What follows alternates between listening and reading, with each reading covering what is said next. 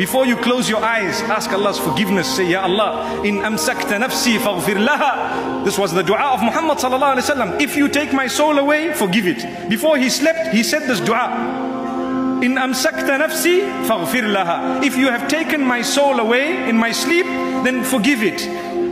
وإن أرسلتها فاحفظها بحفظك الذي تحفظ به عبادك الصالحين. and if you are going to send my soul back, then protect it with the same protection that you protect your righteous slave.